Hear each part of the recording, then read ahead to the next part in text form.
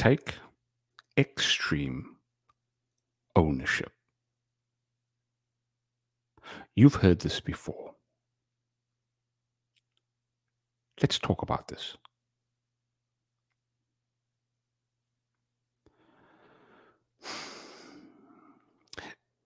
It frustrates me when I see young men, grown men, not take ownership. You see, I can't trust anyone. Think about this for a second. Can you tr- trust someone that when you ask them, why did this happen? They say, because, you know, this person uh, did this, and because of that, I wasn't able to do that, and, and that's why I'm in this position. Compared to someone that says, you ask them, why, why didn't you do this? They said, you know what? My bad. I was lazy. I take full accountability for my actions. I will trust someone more that is upfront with me with why they didn't do something as opposed to someone that blames somebody else. Now, hear me out. Both could be true. The person that was uh, disappointed by somebody else, that might be true. That person might have been disappointed, and because of that, they weren't able to produce the result. But I rather, I rather be associated with someone that takes full accountability.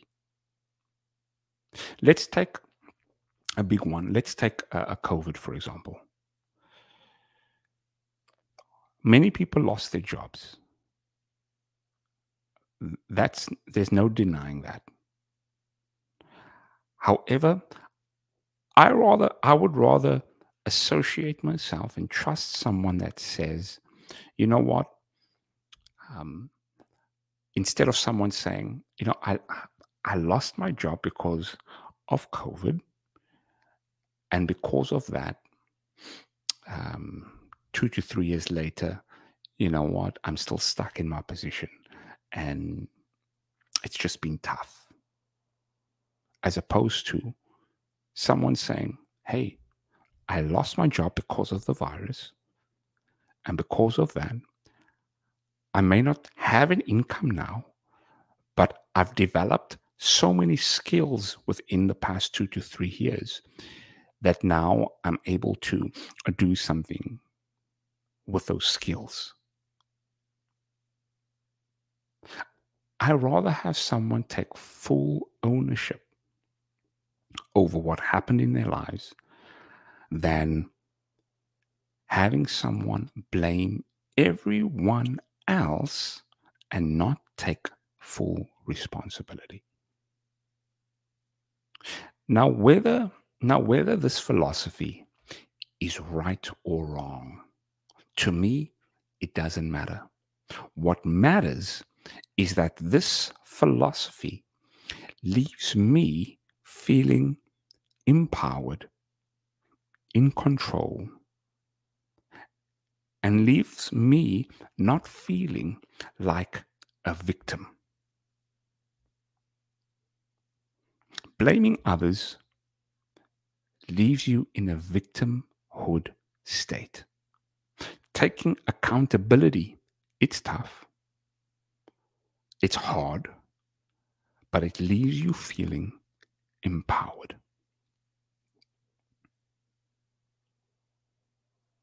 Choose today to take extreme ownership. Extreme ownership. Your physical health, where you are right now in your body.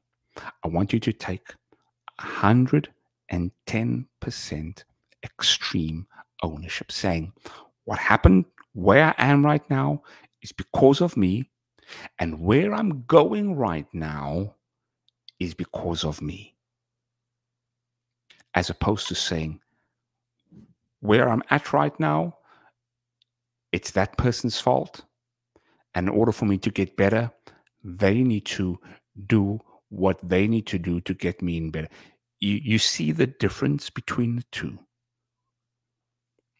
Don't fall in the trap of blaming others, of giving everyone else the power. And, and I think that's that's one of the major one of the major psychological reasons why we do that is because the reason why we give and blame others is bec- and the reason why we don't want to take responsibility is because when we know if we take full responsibility of what happened now the onus is on us to do the work and you are lazy you don't want to do the work stop being lazy take responsibility do the work and see your life change. Don't be lazy. Take responsibility. Do the work and see your life change. Say this one more time. Don't be lazy. Take responsibility.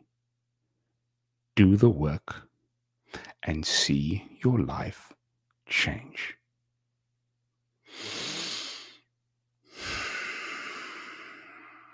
see your life change. That's my desire for you. You can have it all. You can have the physique. You can have the wealth. You can have the vital relationships that you need in your life. But it starts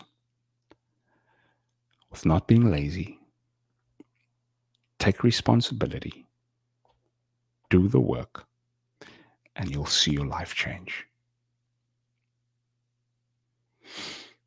If you haven't already, make sure to subscribe and remember we are not here just to survive. We are here to thrive. Only if